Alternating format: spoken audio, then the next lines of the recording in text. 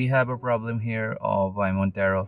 2018 and I'll show you. In the dashboard we can see that we have a problem which indicates that there's a key low battery signal.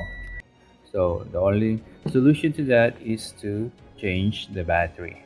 What we need now is a of course a battery CR2032 it is the thicker version. We have also CR2016 and CR2025 which are slightly thinner. So you need a CR2032 there are many brands you have already Duracell Energizer and so on.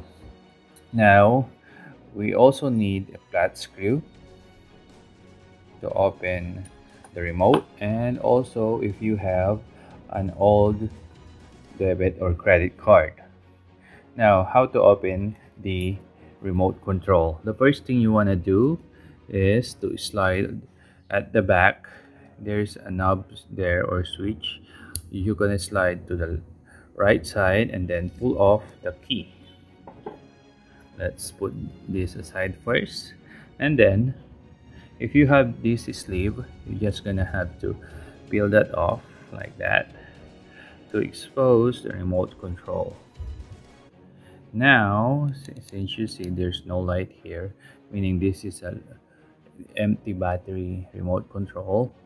And the next thing is to for example here at the bottom there is a nudge there or some kind of a marking which indicates that it is the part where you could open the remote control so there are no screws here. You just have to pop that open like this and then pop to the right. Yeah. When you hear that click do not overdo it with a hard object because there is a rubber seal around it. If you can open that this is where our old credit card goes to. You just slide that to the sides to open the remote control. Now what we have here is the lower part and the upper part which have your main remote control circuit.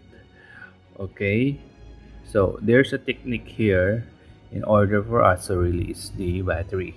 We just need to put our flat screw here flat screwdriver and then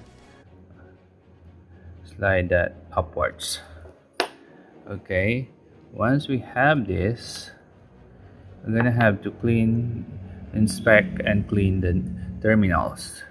Since they are good sometimes there are white objects there or white interference there. Now that we see that they are good we're gonna open this battery.